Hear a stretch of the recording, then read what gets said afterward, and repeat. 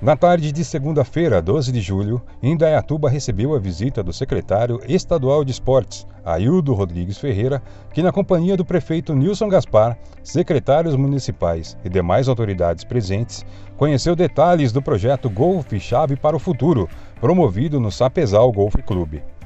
O projeto social é executado pela URRA, Associação Sem Fins Lucrativos, por meio da Lei Paulista de Incentivo ao Esporte, em parceria com a Prefeitura de Indaiatuba e a Federação Paulista de Golfe. As aulas do projeto acontecem todas as segundas-feiras em dois períodos e têm duração de quatro horas, onde são atendidos 100 alunos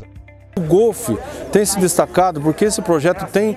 dado oportunidade para as crianças mais carentes do nosso município. E toda a estrutura criada para atender esses jovens e as suas famílias tem trazido benefícios sociais, educacionais, esportivos e de geração de empregos jovens que estão tendo a oportunidade de praticar essa modalidade de forma inclusiva. Então, permite com que essa modalidade de esporte seja praticada e permitindo que esses jovens estejam distante do convívio com as drogas, do convívio com a violência, com as más companhias e vem para dentro de um projeto desse aqui enquanto ele aprende aqui a conviver, a se relacionar, a respeitar seus limites. Então, tudo isso é muito importante para o esporte de um modo geral. Esse projeto é único porque nós,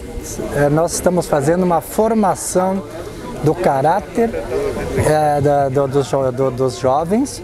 e dando uma oportunidade para eles terem uma profissão, seja ela como um jardineiro, um trabalhador no campo de golfe,